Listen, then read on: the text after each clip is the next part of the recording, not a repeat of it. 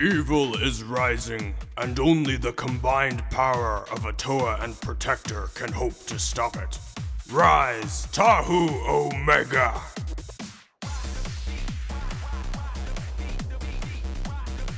Once combined with the Protector of Fire, Tahu gains additional armor and the ability of flight.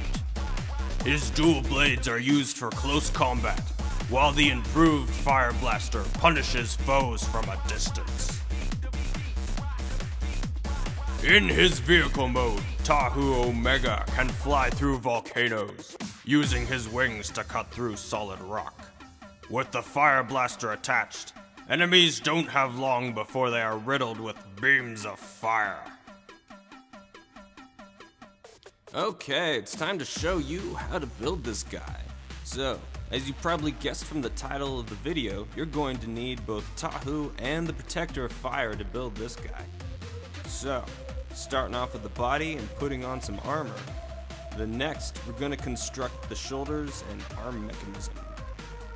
It's similar to the original, but a little different, so maybe you're going to want to pay attention.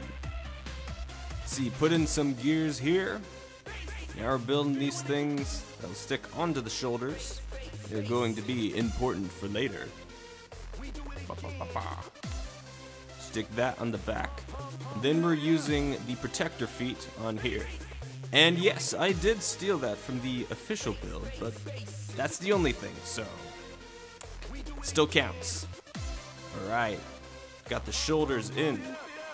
Now stick the body on and stick the body armor along with the mask on.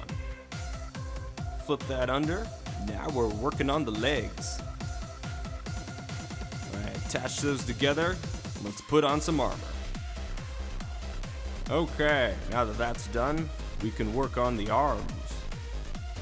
They're pretty simple, so no problems there.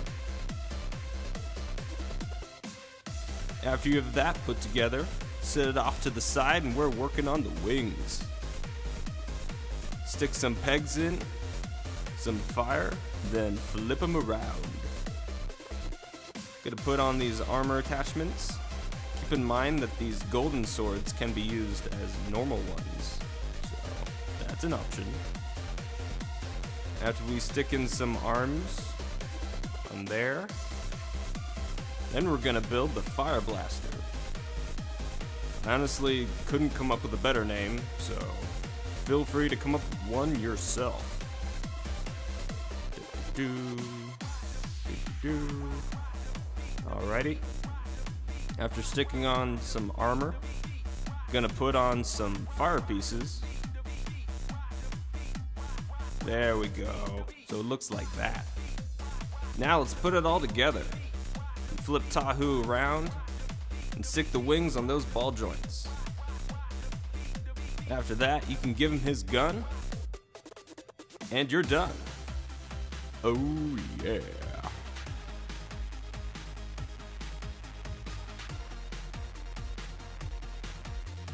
So, to transform this bad boy, first you drop the gun, and then you gotta spin these wings around as shown.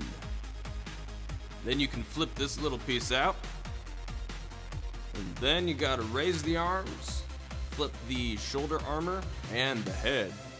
Then you can drop it on its back.